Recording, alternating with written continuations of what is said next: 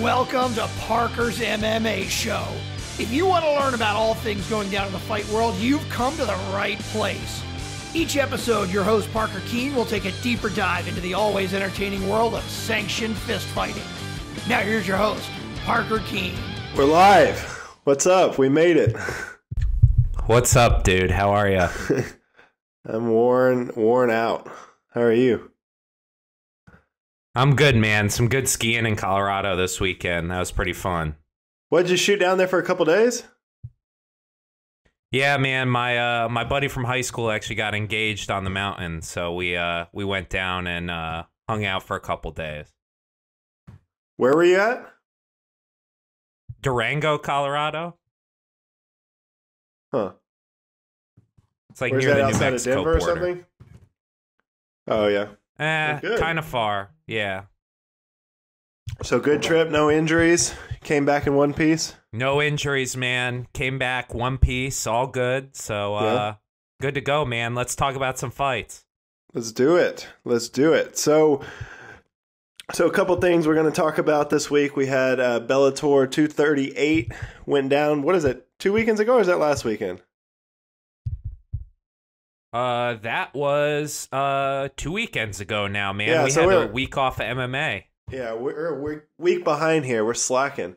But anyway, we're going to dive into Bellator 238. The same weekend you had UFC Raleigh, um, North Carolina, and then this weekend we've got the return of the light heavyweight goat, pound for pound number one fighter in the world, Jon Jones. So let's get into it. You want to start with Bellator? Let's do it, man. Let's talk about it. The Cyborg Show. Yeah, man, she looked fucking good, huh?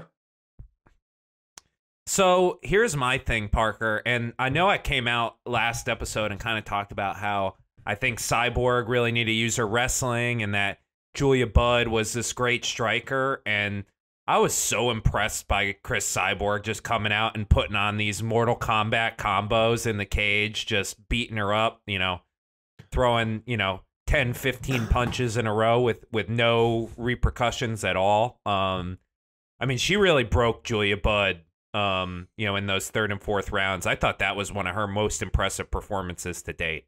Yeah, it kind of looked a little bit to me like, I mean, Julia Budd, once she got in there, just realized she was in there with Cyborg and kind of shit the bed a little bit. It looked like at the end of the fight, and she said it in her, you know, post post fight interviews that, you know, she was just super, super disappointed with herself. And I, I think Cyborg is one of those people, you know, like getting in the cage with Fedor or Jon Jones. They just have this aura about them. Um, and I, I just didn't really see Julia Budd show up. I, you know, I saw Cyborg look really good in a fight that, you know, she needed to make a huge debut in Bellator and and really make a comeback after that, you know, getting finished by Amanda Nunes. But um, yeah, that's kind of what I thought. I, I thought she looked great all around.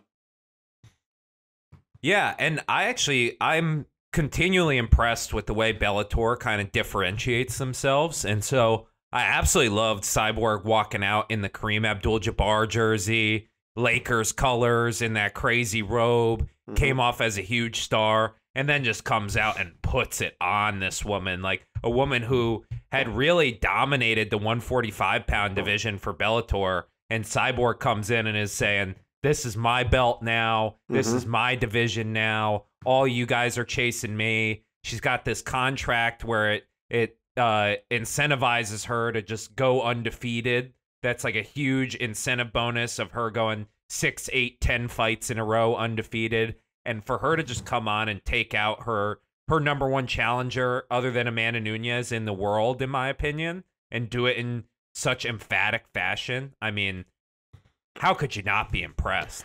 Well, and uh, what do you think about Bellator? I mean, that's like the best, probably the best result they could have hoped for. I mean, Cyborg's a star, and I think the UFC never was really able to capitalize on her stardom and how you know famous she is, and I, I think that's a big win for Bellator.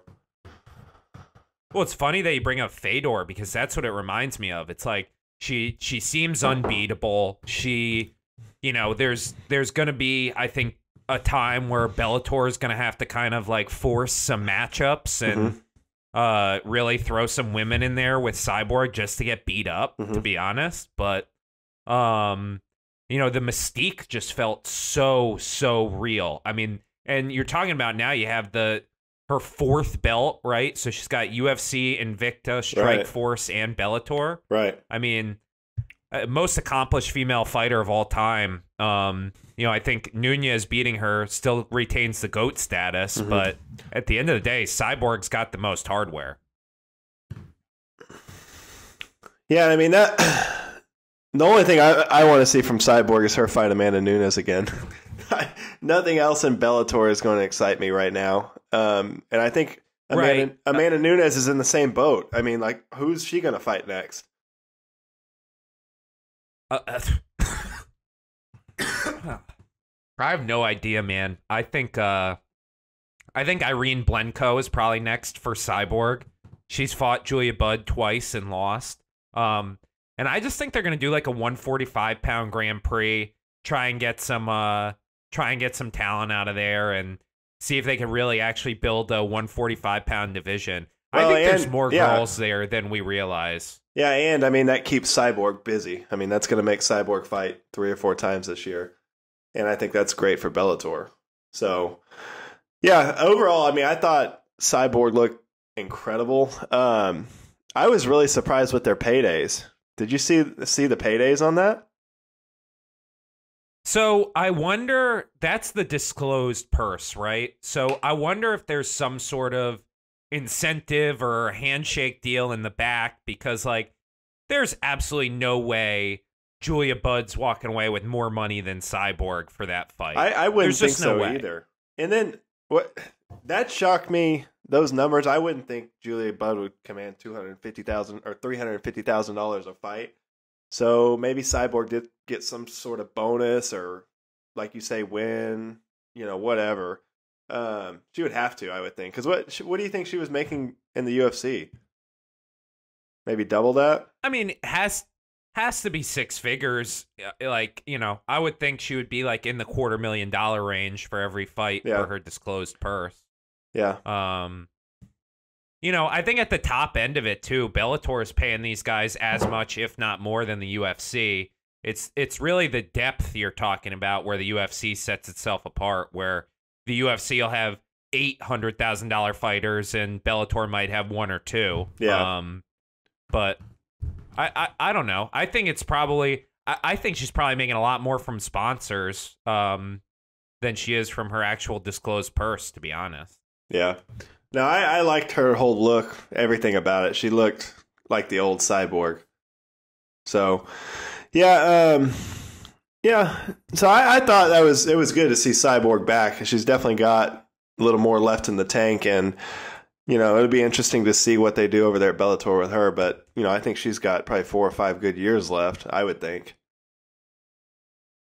Yeah, certainly. I hope so. Um, yeah, You know, I I enjoy watching her fight. She's got a fan friendly style, and I'm excited to see what gets thrown at her.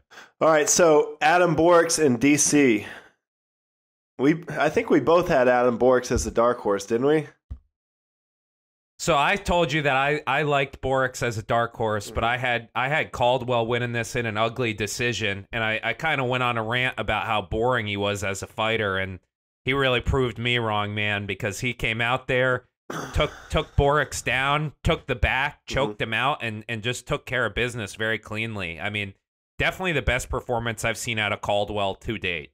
Yeah, I mean it it was a short fight. What it was over in a minute or something. He just I mean absolutely yeah, sliced like right ninety through him. seconds. Yeah.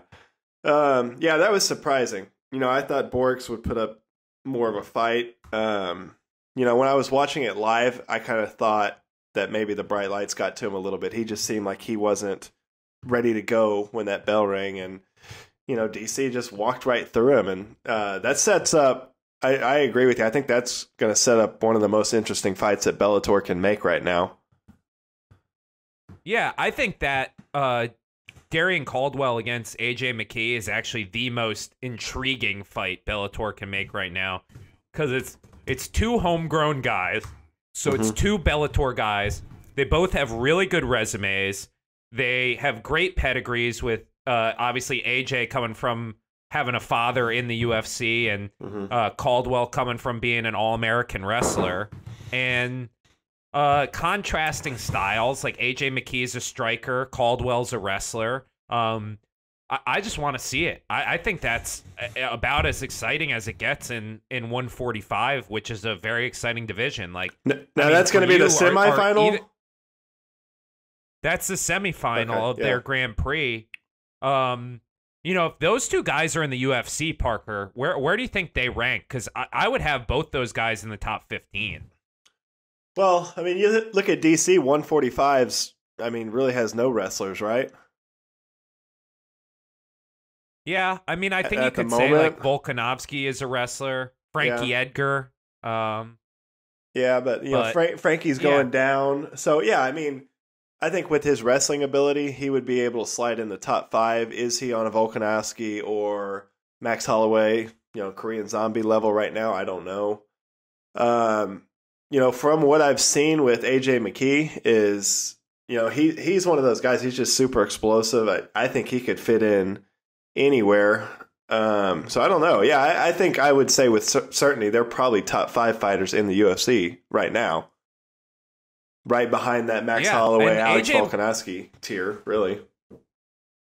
AJ McKee too. I mean, don't forget he finished his last fight by triangle armbar. I mean, this guy can grapple too. He's not just a striker. Mhm. I think he's one of the most intriguing prospects in the sport, if not the most intriguing. So I really can't wait for that fight. So when when does that go down? Is that that's going to be later in the spring, maybe early summer? I think it's going to be in the summer because in March they're going to do the other two quarterfinals at Mohegan Sun in Connecticut. Yeah. I don't know if I'm going to make the Mohegan Sun trip again. I did that last year.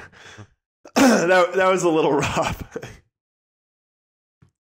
Hey man, that's my home state, so yeah, uh, maybe got I, a lot of love for Mohegan Sun. you have to show me around Connecticut a little more next time. Um, yeah, but no, I, I, I thought Borks was going to put up a little better of a fight. I was a little disappointed. I think he he probably felt the same way. He just didn't get a chance to get started. He- you know, the fight started, he got taken down, and then just steamrolled through. So, yeah, that was a little disappointing. Um, where do you where do you think Adam Borics goes from here? Well, I think and this leads nicely into into the next fight we're going to talk about, but um, I I'd like to see Borics against Henry Car- Henry Corrales. I think Mhm. that's a, a nice little matchup there at 145 for for Bellator, and you know one of those guys will get back on track and uh and go from there. So does Henry Corrales and the Spaniard they just kind of sit around until this tournament's over, or how does that work? That would be my guess. Um, you know, the only the only thing I think I could see is like I could see Archuleta taking on um, you know, say like the loser of Caldwell against AJ McKee or Right. something like that. Um but I think they they pause a little bit. I you know, I'm I'm interested in seeing Juan Archuleta go down to 35. I, I think he's actually a little small for 45. Mhm. Um, and so it looks like Bellator is going to do a 135 pound Grand Prix, and I would love to see Archuleta in that tournament. So maybe some time off here wouldn't wouldn't hurt him. Right. All right, let's move on. We had um, who else was on that card? Um, well, Aaron Pico making a gigantic return. I mean, he he nearly killed that guy. Yeah, with a f- forearm, a left hook forearm that I mean just fucking flattened that guy. Um, Um, yeah, that was. I mean, looks fantastic. Yeah. Yeah, obviously it looks like the the move to Jackson Wink paid off. Um to me, he just looked like he fought a smarter fight. You know, he didn't rush the knockout. He worked in the boxing. He had a big takedown in the first round. Um he just seemed sharper everywhere. So I, I think that was a really, really good win to get his confidence back. You saw at the end of that fight, it looked like a gigantic weight was lifted off of him. He looked so relieved to get back in the win column. And I- think that's going to be really important for Bellator, you know, to keep bringing him along. Not too crazy. I don't want to see him fight Juan Archuleta or Adam Borics or someone like that. Let's give him another fight or two, build him up, get his confidence back, and then go from there. Yeah, I agree with you. I think um, this was the appropriate level of competition for him. It's a guy who has a similar number of fights, and I just think Pico is so good at both boxing and wrestling. It's so hard for him to get these fights, and so I, I hope Bellator can keep kind of bringing him along and start to to work his confidence back up a bit, so he can really get where he belongs, which I still believe is the elite of the 145 pound division. Yeah, yeah, but I mean, I, I think you let this tournament play out, get him one more fight, and then you know, end of the year, early 2020. That's when you start feeding him these you know higher guys and see, you know how he, how he fares in that. But I mean, from a guy that's had the kind of rocky start he had to his career, you know, really really big highs and really really low lows. I think it's great that he's in a camp like Jackson Wink. He's you know there with Jon Jones, people like that that have done it Holly Holm, and um, you know I think that's a perfect fit for him. So I'm going to be really interested to see how they handle Aaron Pico and and how he responds in the next couple fights. But yeah, he that was a, the perfect result for him. I I couldn't look for a better you know return fight for him. Alrighty, so Juan Juan Archuleta gets a unanimous decision win over Henry Corrales. Um, I thought this was a close fight. I thought this could have went either way. I wouldn't have been mad either way. Um, what did you think? I agree with you. I uh, I think this was a, a fight that is a good argument for we should have more draws in MMA because I think it was honestly hard to pick a winner. I thought Archuleta landed more shots. I thought Corrales landed the better shots. Um, I I was a little disappointed in Juan Archuleta to be honest. I I thought he uh I thought he would have performed a little better than this. I, I don't think Henry Corrales is the elite of the 145ers in Bellator, to be honest. And I think to kind of eke out a close decision like like Archuleta did, I, I just expected more um, from a guy with his record and his skill set. Mm-hmm. But um, you know, ultimately gets the win and you know, again, I, would like to see him drop to 35, mm-hmm. and I, would like to see the Corrales against Borics fight just because I, I think that's a banger. I think that's a real brawl between two strikers. Yeah, and so and I think I think it's a fan friendly yeah. fight.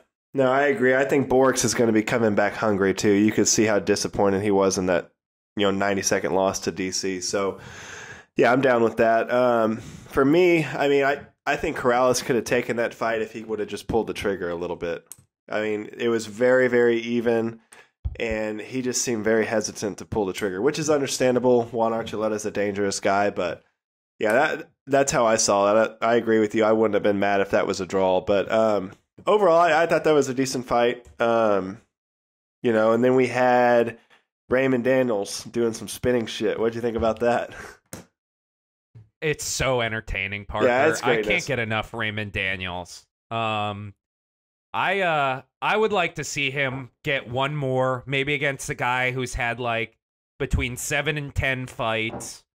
Get get him in there against someone who's got a little bit more experience, and then if Raymond Daniels is still clowning on a guy who's a little bit more veteran, I know you love this. I know you want this, and I'm finally on board. Give me Raymond Daniels against Michael Venom Page.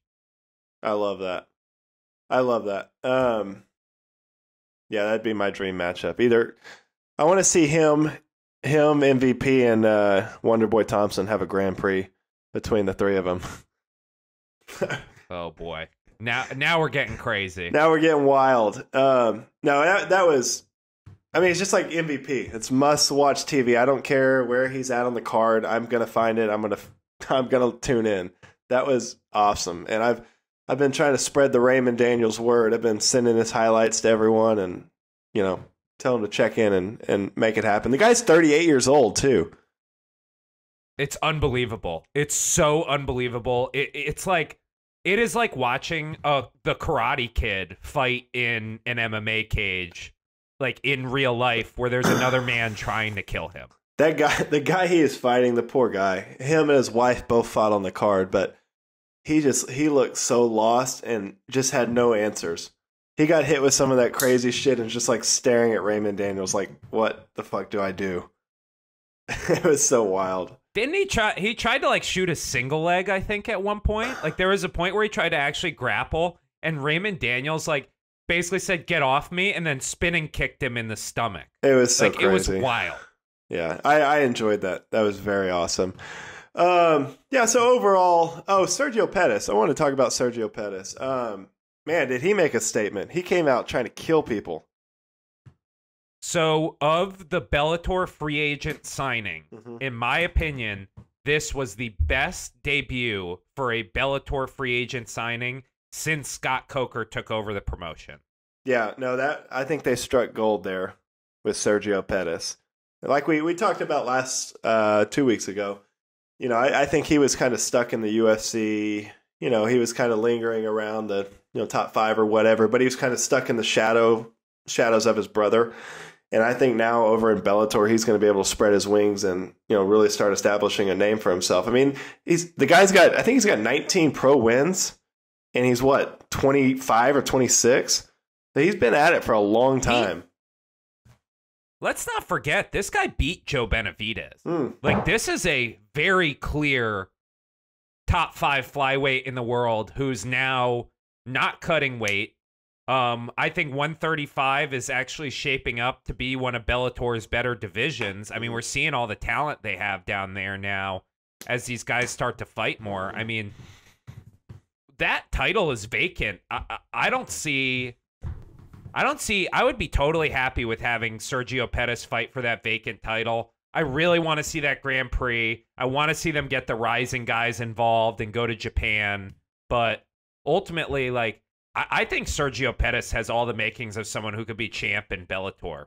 Well, I think he could be a big star over there too.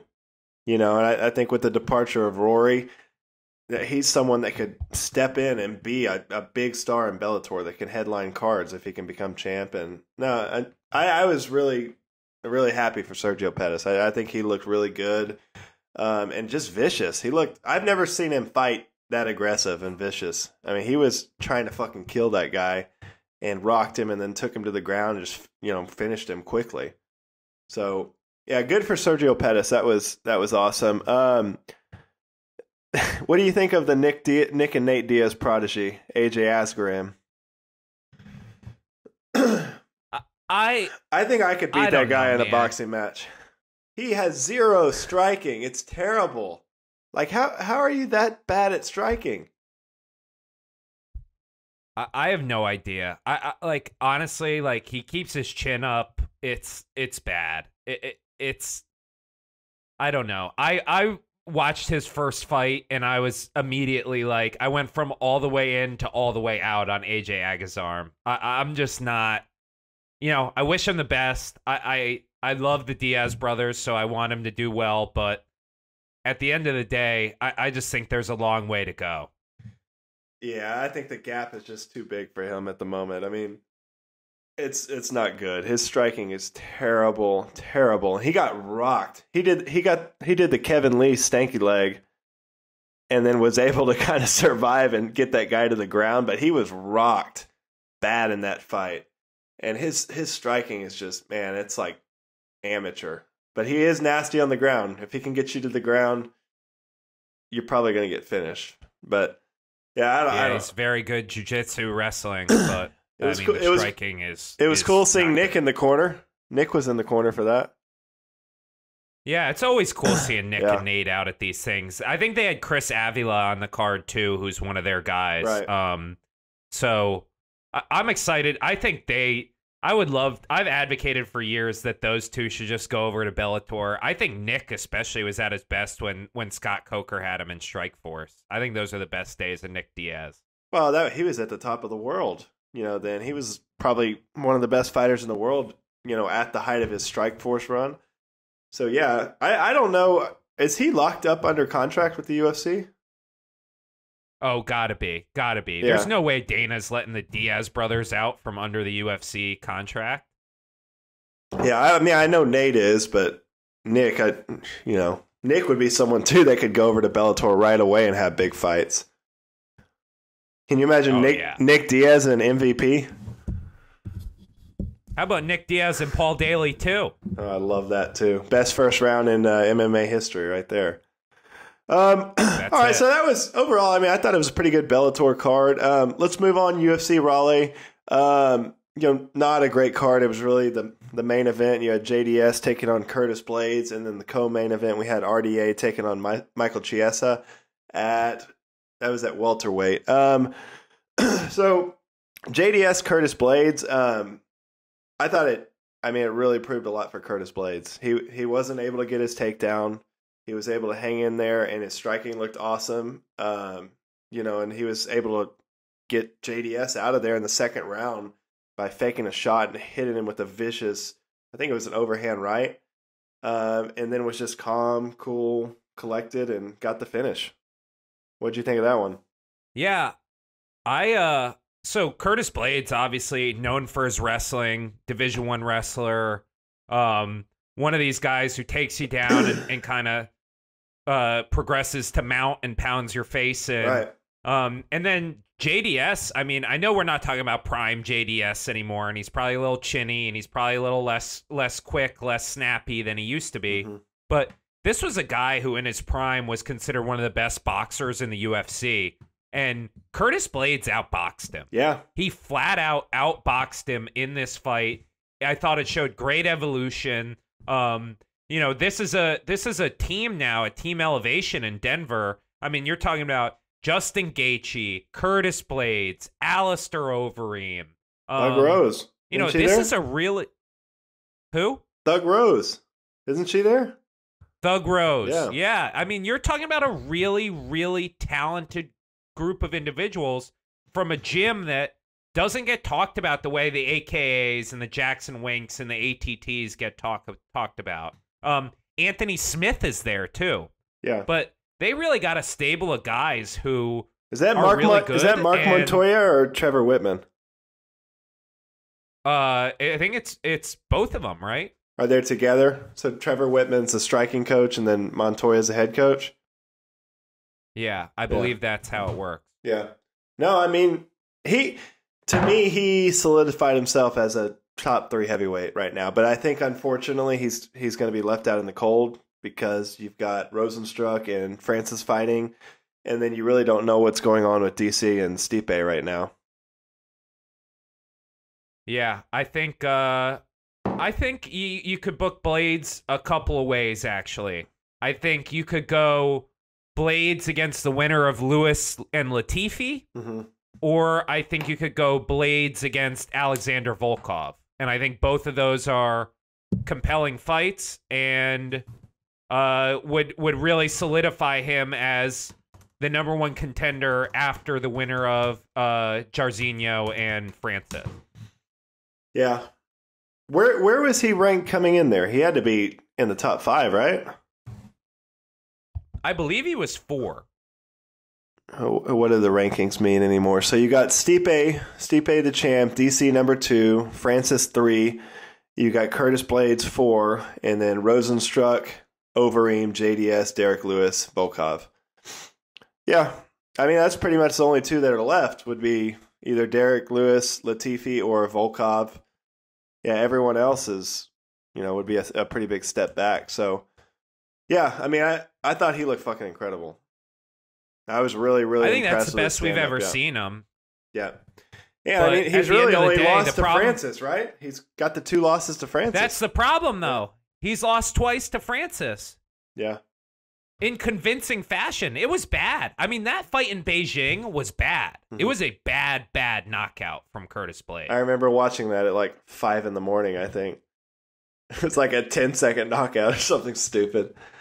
Um. All right, so yeah, let's move on. Um, another guy that looked awesome, um, Michael Chiesa, just keeps winning, and I think Looked awesome. Yeah, th- this is a guy. I mean, 170 is where he needs to be. I, I just I don't He know how massive. he. Yeah, I, he he was by far the bigger man in the cage, and I just don't know how he ever made 155. I'll never get it. I don't understand it at all either, but um you know, he looked huge in there.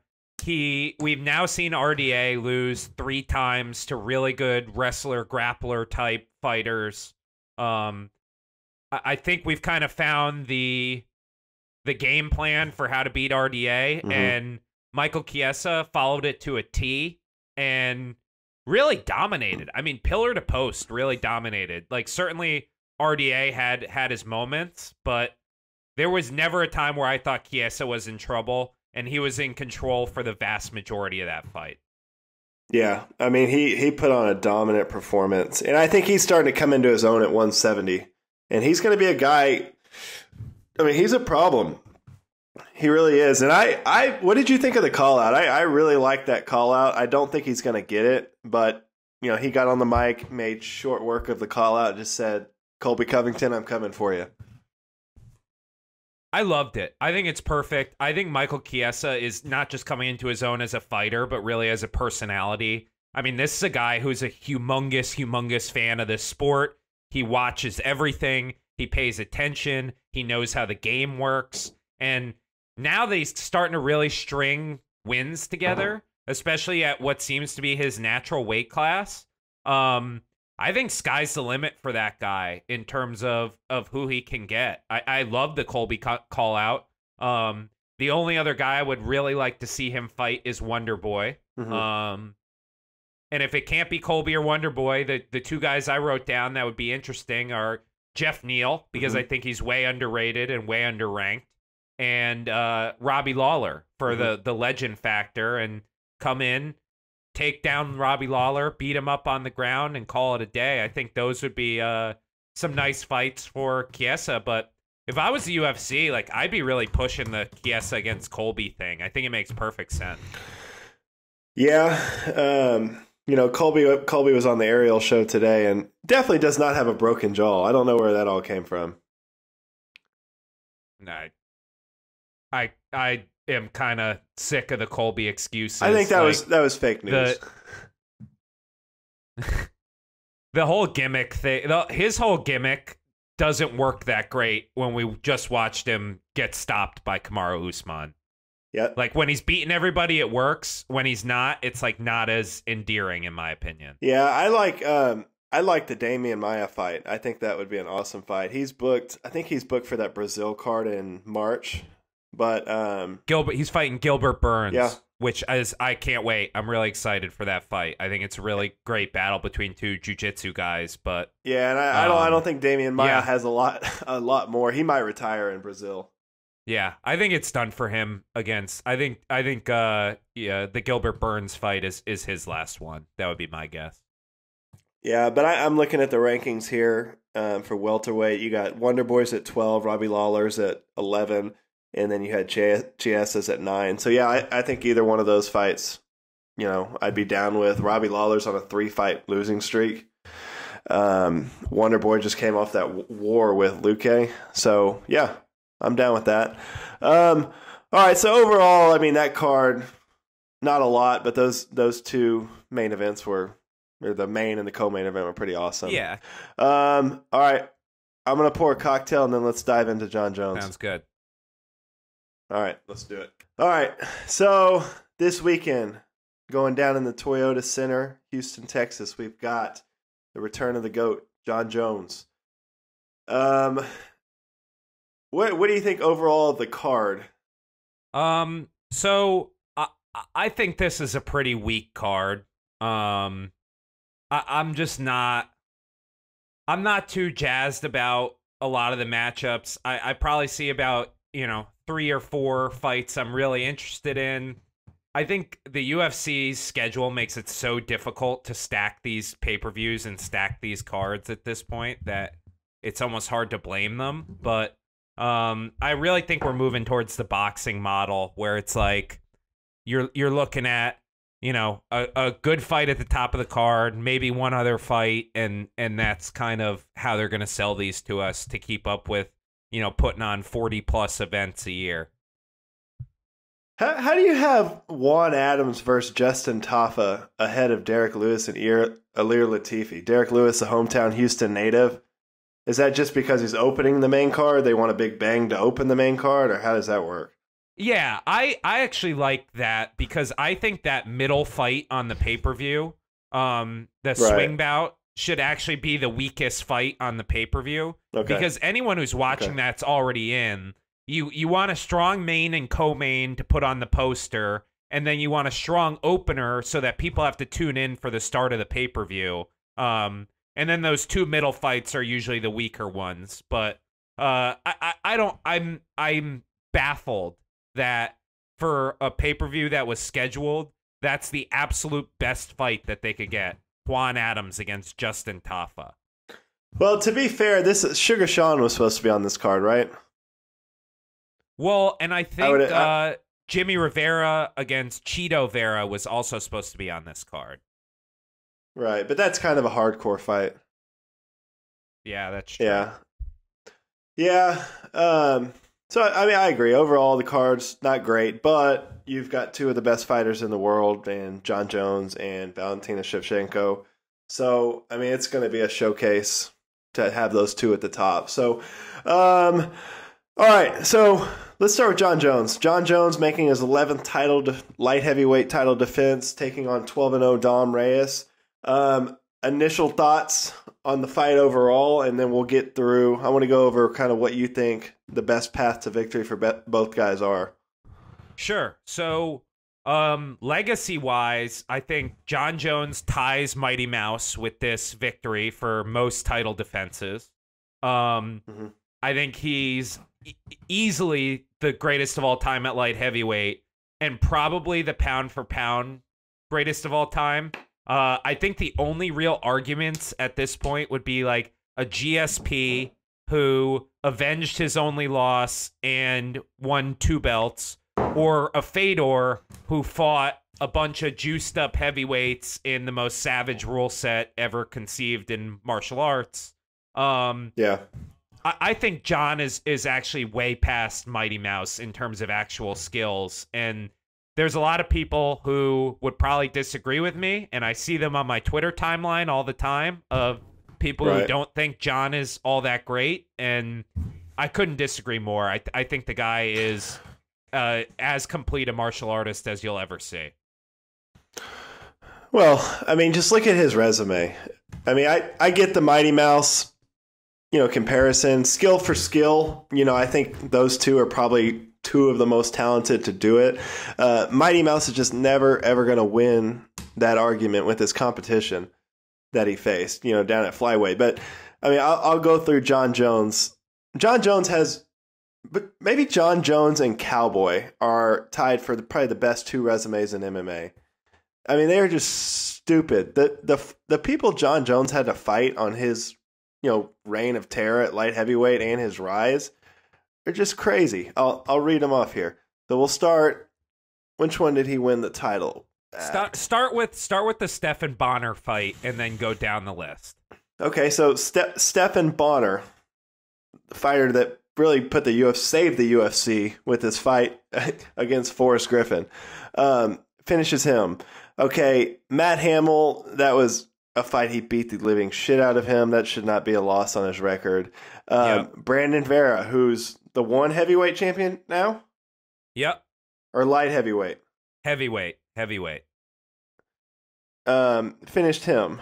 So we got Brandon Vera. We got uh, Ryan Bader after that, who's a two division champion at Bellator. Submitted him. Um, Shogun Rua. That's when he won the light heavyweight title. Absolutely. Since legend. then, the, these are his title defenses. Rampage Jackson in his prime, 2011. Then Lyoto Machida, legend. was a Rashad killer at the time. Oh yeah, Rashad Evans, champion, former champion. Uh, Vitor Belfort, Chael Sonnen, Alexander Gustafsson twice, Glover Teixeira, DC twice, Ovince St. Preux, and then he break. You know the new crop comes on. You've got Anthony Smith. Then he takes out Thiago Santos. I mean, who has a better resume than Jon Jones? Period. Here's the other thing too. You have Chael Sonnen and Vitor Belfort on every supplement, legal and illegal, under the sun, and Jon Jones still beat him. You have Glover Teixeira, who is on a 20 fight win streak, and Jon Jones still beat him. And you have Alexander Gustafsson the first time when John is Mhm. admittedly going through drug and alcohol benders the week of the fight and still beat him. and and barely trained for that fight. It's unbelievable. Yeah, and and I mean, he really he's ran through three different eras of light heavyweight just legends, and now he's on this new wave of up and comers. And I just I don't see where I'm at on this fight. You know, I, I understand Dominic Reyes is a dangerous guy. He's an athletic guy. It's not anything John hasn't seen before. Okay, let me. I'm going to stop you right there because I thought you were going to Okay. say that. Everybody's been saying Okay. this. I want to break it down for you. Here's how Dominic Reyes wins this fight. Okay, tell me tell me how Dominic Reyes beats Jon Jones. Let's go. Dominic Reyes is the best boxer that Jon Jones has fought in the octagon. His boxing footwork and his uppercuts are better than anyone John has fought. If you watch the way that he is able to hit guys with power punches and then either get out of the way or use his jab to create distance, it's unbelievable like what he's done with really fundamental boxing technique that is really rare in the UFC. So that's one.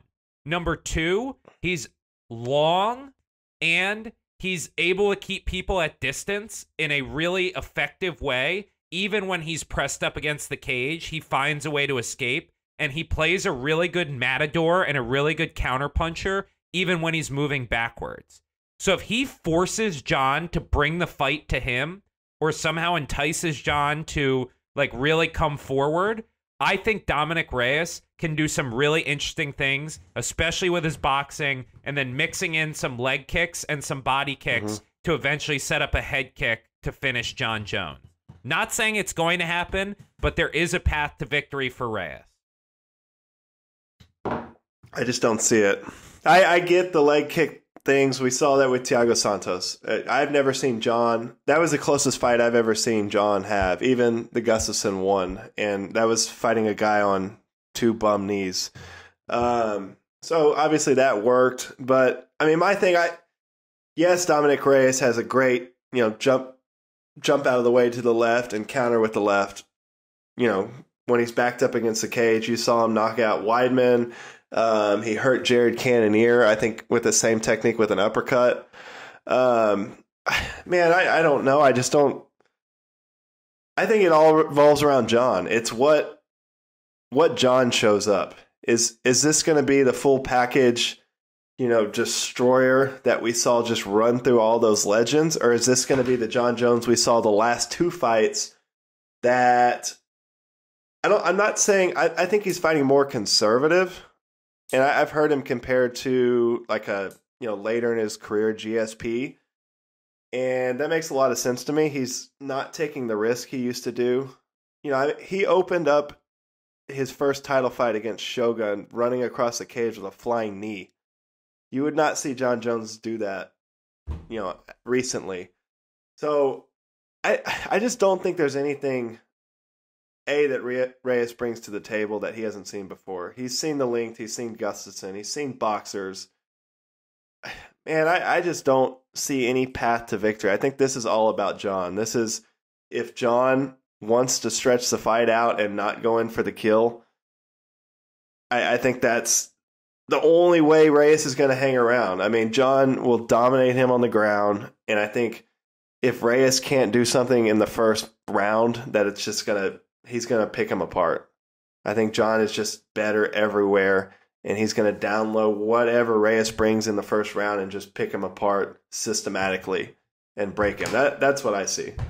So a couple things here. Number one, I think with uh with Jon Jones in terms of motivation, in terms of what John is going to show up, all those narratives, I think we saw in his interview with Ariel Helwani, his interview on Sports Center, his tweets and conversations about Dominic Reyes. This guy gets under his skin and motivates him in a way that Santos and Smith and Gustafsson just didn't they just didn't motivate him like this. Like it seems like every word out of Dom Reyes's mouth annoys the ever living shit out of Jon Jones for some reason. And I think he's really going to punish this guy when they get in the cage. The other thing I want to highlight here is Dom Reyes might have the worst takedown defense of Jon Jones's opponents since OSP. I, like I think yeah, but John. but with John, with John recently, he doesn't. He's not using his wrestling, and I think he's he just feels like he's so good and untouchable that he wants to beat you at what you're best at. I mean, he took down DC multiple times, who is an Olympic caliber wrestler. If, he took down he, he, took go, down Gustafsson though. He took down Gustafsson. Who? Jon oh, Jones. On the sec yeah, in the second fight, yeah. Well, yeah, I guess I'm just basing it off the last two fights. It's been I felt like the last two fights John could have finished both of those fights. I feel like the old John would have finished both of those fights. I just didn't see that killer that wants to go in there and, and just hurt you and finish fights. I saw a, a more mature, just maybe a, a more conservative version of, of that. I mean, the skills are all still there. Everything's still there. I just didn't see that killer instinct like he used to have. And I, I don't know if he's he's fighting more conservatively or that's just how he was feeling that night. I don't know. But for sure, I think he could have finished Anthony Smith and for sure Thiago Santos, who was hobbling around on two bum knees after the first round. I I think he's gonna take Reyes down at points in this fight, and I think he's really gonna try and hurt him with elbows. I think it's gonna get really, yeah. really brutal, and it's gonna get stopped, and it's gonna be tough to watch. Yeah, I mean, I, I think, like I say, John has the ability. I think John could take him down in the first round and just control him and beat the fuck out of him, cut him up, make it dirty. I, I don't know. I, I just don't see any path to victory for Reyes. I think John's just too good everywhere. I he's he's the Floyd Mayweather of MMA. I so mean, give me your prediction, fight, Parker. I don't know. John is so weird. He's so weird. He could come in there if he wanted to and finish the fight in the first round. He could take him down and cut him up, or he could let him hang around and just pick him apart and kind of point fight him. I I don't know with John. I John is one of those people you can never get a read on. Make a pick. Make a pick.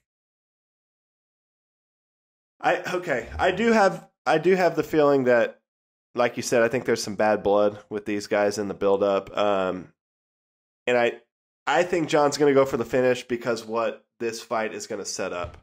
This fight, to me, if he goes in, makes a huge statement, and just steamrolls through Reyes, he's got the heavyweight options and he's got a light heavyweight title defense against Izzy. That that's kind of what I see next.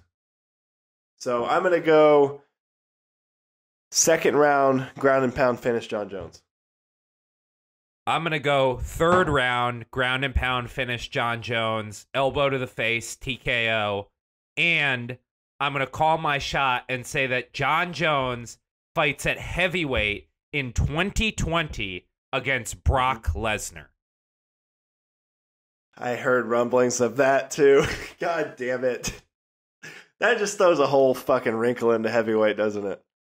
I love it though, because then Stipe and DC fight in the summer. DC retires right. either way. If if you you get the winner against Francis and Rozenstruik fights probably Stipe or Curtis Blaydes for the title. And then you have John fight Brock, get his payday, beat Brock Lesnar, fight for the heavyweight strap.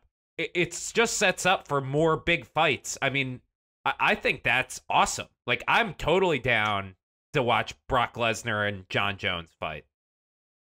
You know, if DC beats Stipe, he's not going away. He's hanging around for those fights. I don't think he can do it anymore, to be honest. Like, I think his body's kind of given up on him. He's a, he's like what a year and a half past what he said he was going to fight to, and he's still got another trilogy fight with Stipe. And you know, if John goes up to heavyweight, he's going to start fucking with DC and talk him into a third fight. Ugh. I just don't want to see it. Daniel Cormier's too good a guy to like go out on his like face first like that. I think he's too competitive and I don't I don't think he can get away from John. I think it's if John goes up gets one win at heavyweight, you're going to see the DC rumbling start coming up. So only okay, only so, if they're so after you, Brock Lesnar. I, I want to see Brock Lesnar and Jon Jones fight so badly, and I don't know why. Take all my money for that freak show. I'm so in. I mean, but John versus Francis is just as big of a freak show. And if Francis goes in there and starches Rozenstruik in 30 seconds. What do you think would be a bigger fight, him versus Brock or him versus Francis?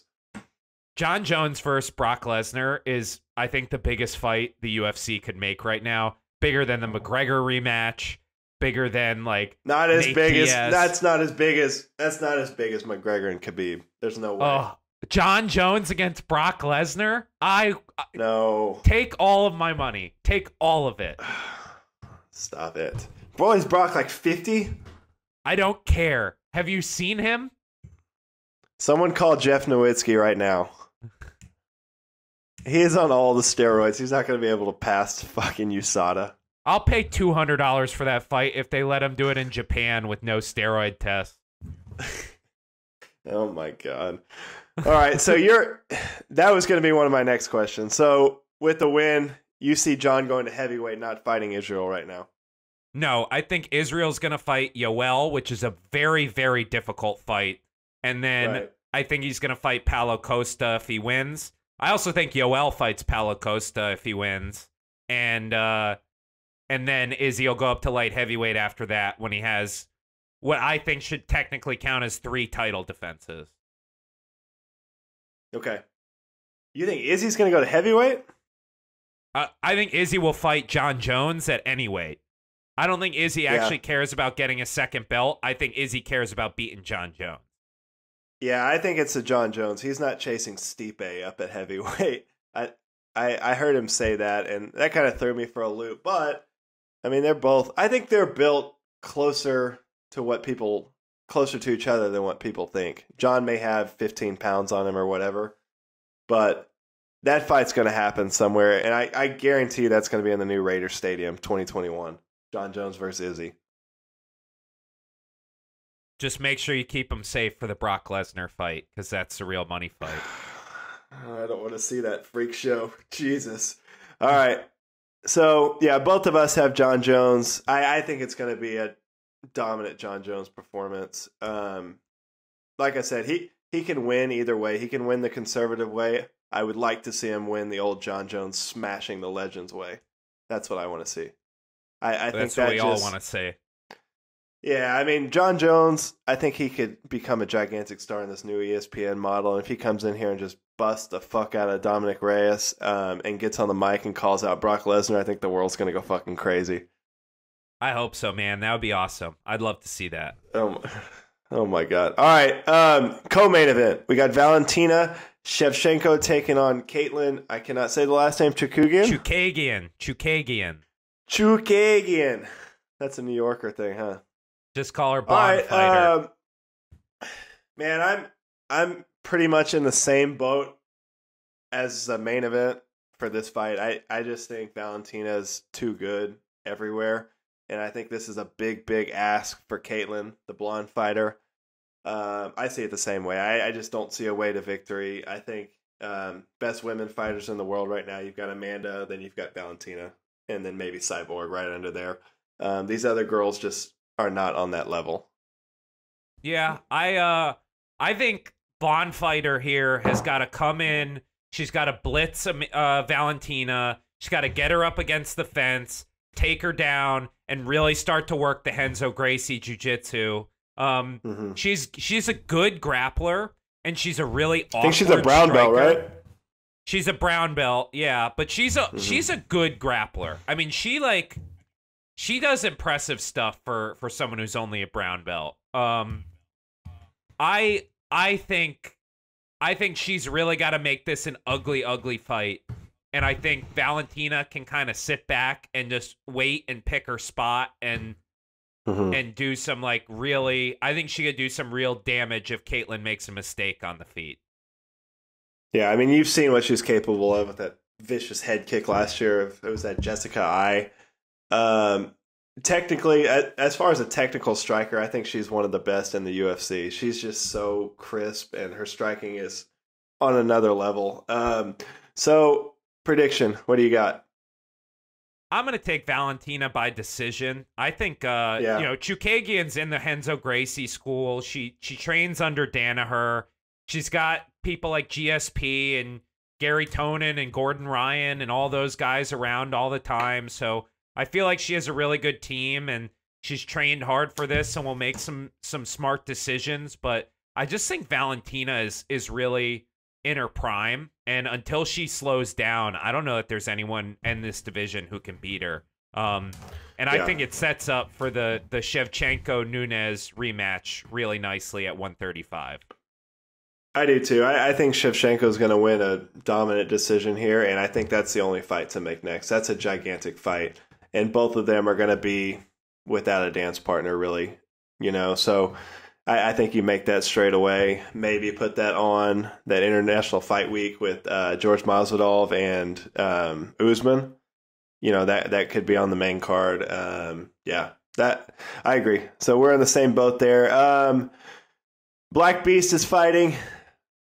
H Town, Houston's own, the Black Beast. One of my favorite fighters, best Instagram in the game. Uh, Black Beast. Yeah, he in his last fight against that Russian that got stabbed in the chest multiple times, uh, Blagoy Ivanov.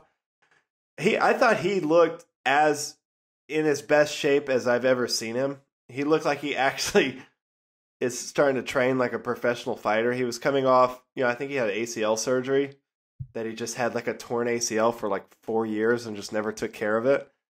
Um, but he looked in really good shape. I mean, he was able to go all three rounds in a very very tough fight, and I'm I'm really looking forward to see what the Black Beast can do. I, I think he's one of those guys that he's always going to be in the hunt for a title shot, just because he's just got that freak knockout power that it only takes one. He can switch the lights off at any point in the fight. And then, um, what do you what do you think of Ilir Latifi moving up from light heavyweight?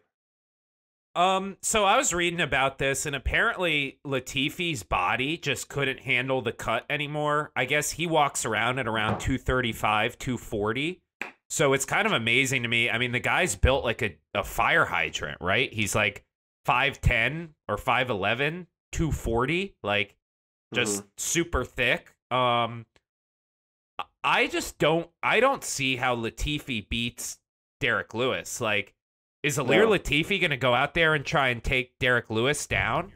Like I don't see Ilir Latifi being able to hold him down or submit Derrick Lewis and I kind of think that's the only way he beats him. I think if this fight stays on the feet, I think Lewis is going to put his lights out.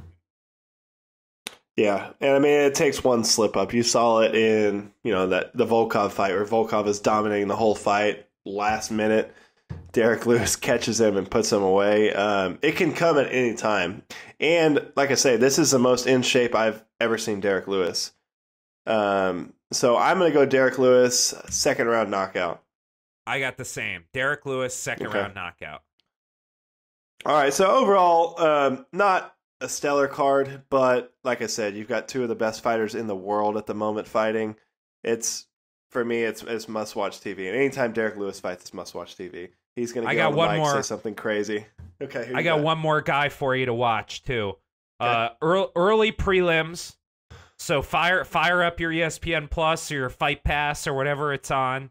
But Miles Johns, uh, Mm-hmm. Dallas guy, Fortis MMA, undefeated, won on the Contender Series, former champion in LFA. Um, guy is really, really talented. Um, he's good everywhere. He's fast, 135er.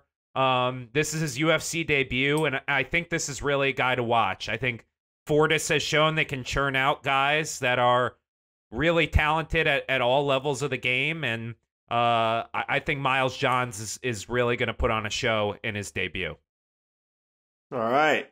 All right. So UFC Houston going down this weekend. Everyone tune in.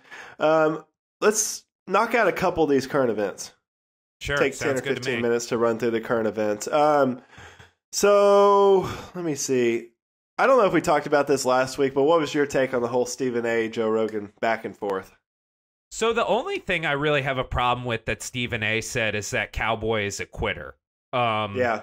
I, I think that was wrong, and he never addressed it. And you know, for a guy who's putting his health on the line for our entertainment, which every single MMA fighter does, I, think that's a pretty bad thing to say. When you could say that in hockey, you could say that in baseball, you could say that in basketball. Fighting's a little bit different in that respect. Um, But I tend to agree with Stephen that I don't think we learned a lot about Conor McGregor in that fight. I, I thought he just kind of blew the doors off Cowboy. And like, I'm as happy as anyone that he's back and he's in the win column, but I don't disagree with that. And the other thing is, I think Joe Rogan is a little holier than thou about the MMA thing and should be looking to just educate Stephen and, and helping him understand better rather than saying, you know, MMA is not in your wheelhouse. And that doesn't make it right what he said, but at the end of the day, he's going to put more eyeballs on your sport. And I think you should be a little more forgiving and a little less of a gatekeeper in, in getting people involved in the sport. Well, I, I, I agree with you. I was upset with the whole cowboy quit thing. I mean, Stephen A. Smith clearly didn't do his research, or whoever does his research for him, to to realize who Cowboy is. Cowboy's got the most wins, most head kicks, most I mean, most everything. He's a legend in the sport. And to come in there and say he quit, I thought that was ridiculous. A, um, B. I mean, the UFC and, and ESPN. There's better people to have on the broadcast than Stephen A. Smith. Stephen A. Smith can be at the booth with Chael or Ariel after the event if they want to get eyes and use his name. He does not need to be ringside with Joe Rogan after the fight, breaking down the technicalities of a fight. I mean, you've got DC, you've got Felder, you've got Dominick Cruz, people like that that could do that job, and no one gives a shit. Like, what did Stephen A. Smith add to that broadcast or little segment? Here's my Rogan? question, Parker. Stephen A. Smith has a television show and a radio show, and they almost never talk about MMA. So yeah. why don't you slap some MMA segments on First Take and on the Stephen A. Smith show? Number one. Yeah. number right two. Yeah. Number two you have his partner, Max Kellerman, has been a boxing commentator for two decades now. Why don't we get right, Max right. Kellerman at some UFC events, someone who really understands the fight game, and have him do some commentary because he would be fantastic at it. Yeah. How bad did the MMA community turn on Stephen A. Smith? Oh my God. Emma, MMA they're, they're fans not, are the they're so ruthless. so we ruthless. are brutal. oh my god. Well, yeah, this shit just doesn't fly like it does in football or basketball. You can go out and say, "Oh, LeBron quit. He gave up on the game tonight," but you can't go out and say, "Cowboy Cerrone quit. He's a quitter." I mean, that's just stupid. And that, yeah, like I said, I, I was upset that the UFC and ESPN would even let, put Stephen A. in that spot. You know, he's a moron that's just going to shout out something crazy to get a reaction. And then he doubles down on it like a total asshole. Anyway, all right, so we're good there. Um, let's see, heavyweight situation we kind of talked about. I think you're you're gonna know a lot more after Jon fights.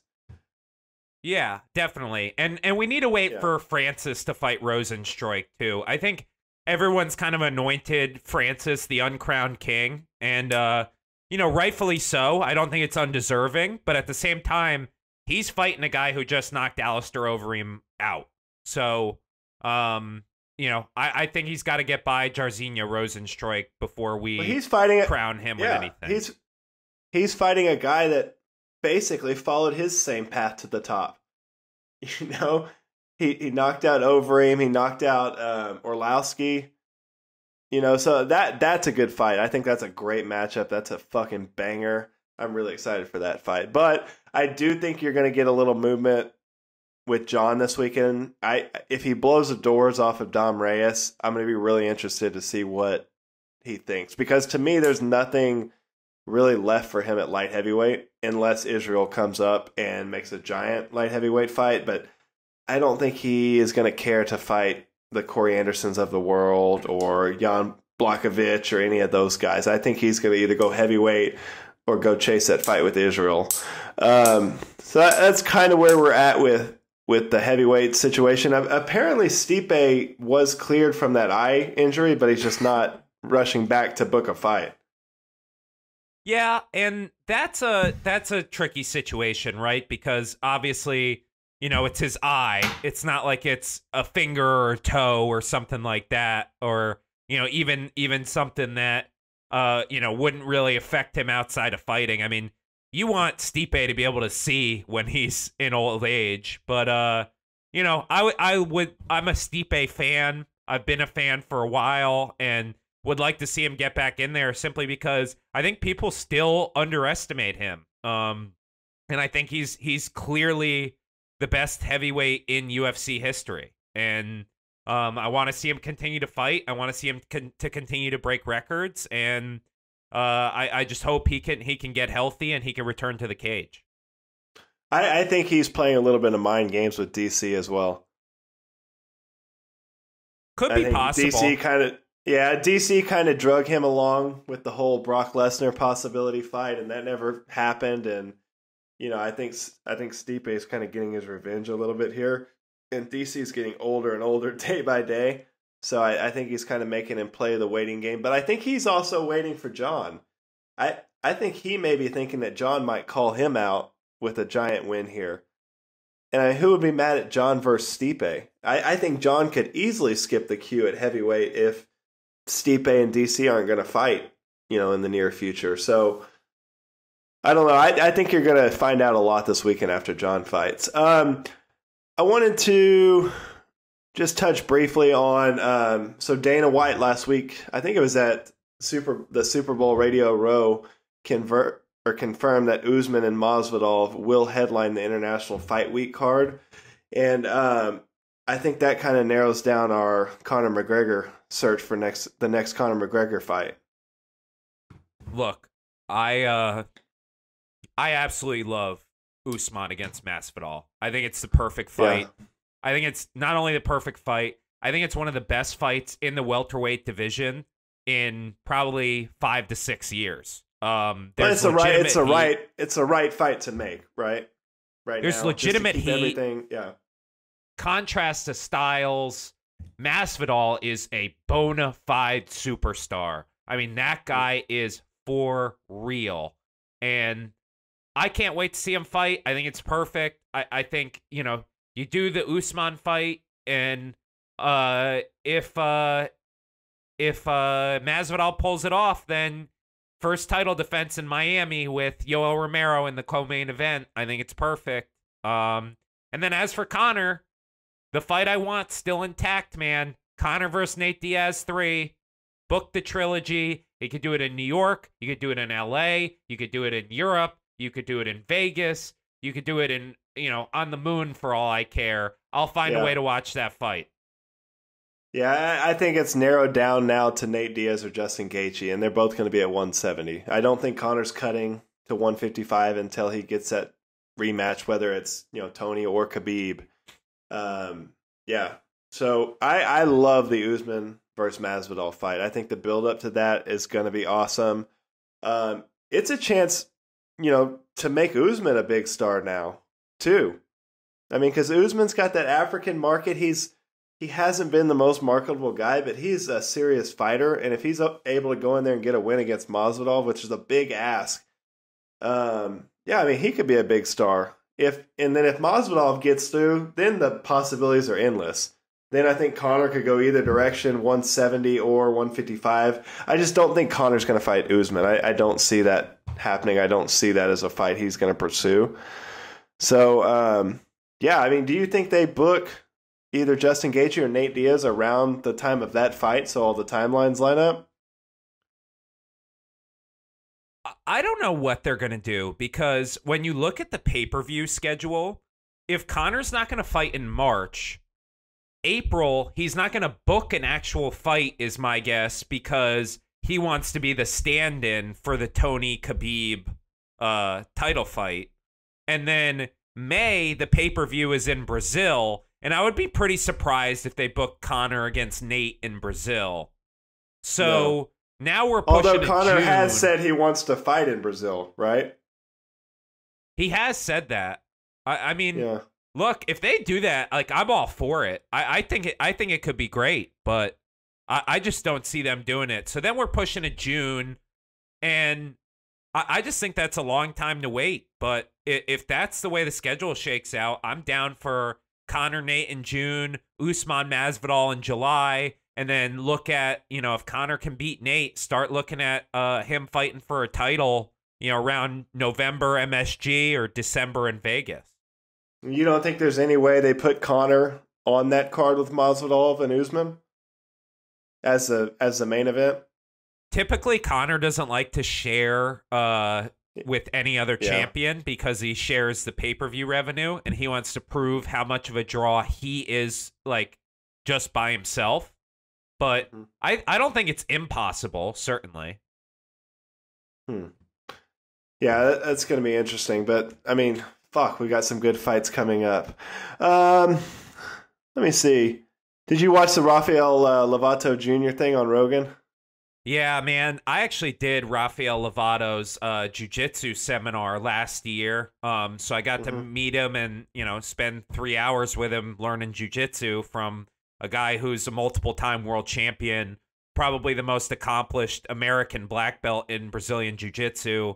Um, and then uh, he, you know, his fight against Gegard, I thought it was a close fight, but it was also a pretty convincing win, in my opinion, for Lovato. Mhm. And it was really impressive to see that uh, a guy who's, you know, kind of a single discipline martial artist his whole life, learned Muay Thai, um, you know, went down to shoot the box in Brazil, uh, fought the killers down there, and and came up and, and really beat a guy in Mousasi who's been a top 10 uh, middleweight for his entire career. And so, hmm uh, you know, very sad to hear about, you know, his brain disease and um, his struggles. And uh, I, I really, really hope that he gets the chance to to fight one more time if that's what he wants. And really just hoping that his health is okay because he's such a he's a great guy. He's a great role model for the sport, and uh, he's a really great fighter who has an interesting style that I don't think we get to see you know, pure jujitsu guys translate all that often, and he's proved that it still works at the high levels of MMA. Yeah. No, that that was I totally agree with you. Um, all right. Anything else? We leave anything out? I think that's it, man. I'm uh I'm pretty excited for this this card this weekend. I uh I always get antsy when we have the weekends off like we did. So uh, I'm excited to see Jones and Shevchenko and hopefully while there may not be many names on this card, I'm hoping that we get some bangers of fights and uh everybody goes home happy. Derrick Lewis is knocking someone out and then he's saying something ridiculous on the mic. I can just call it. So mark my words, everyone tune in to the opener. Derrick Lewis is going to do some crazy shit. But episode 22, is that number 22? That's it, man. 22. Uh, subscribe, rate, review, uh, follow us on social media. Uh, you know, uh, just look out for for all the stuff we're putting out on YouTube, on your favorite podcast app. Um, you know, we're gonna be we're gonna be churning these guys out. So uh, everybody look forward to to some more episodes. Till next time. Till Cheers next time, with my, my, uh with my rum. I had a little tropical day today. there So, you go, Park. Parker's Parker's MMA show, episode 22. Signing out. We'll be back next week to recap Jon Jones and probably watch some video of Derrick Lewis doing some crazy shit. So, till next time. See y'all. Thanks, Adios, my friend. All right. See ya. Thanks for listening to Parker's MMA Show. Take a moment to rate and review on Apple Podcast or wherever you get your podcast, and visit parkerkeensmmashow.podbean.com for additional information on Parker and to stay up to date on the latest drama in the fight world. For more information and important links about today's episode, check out the show notes.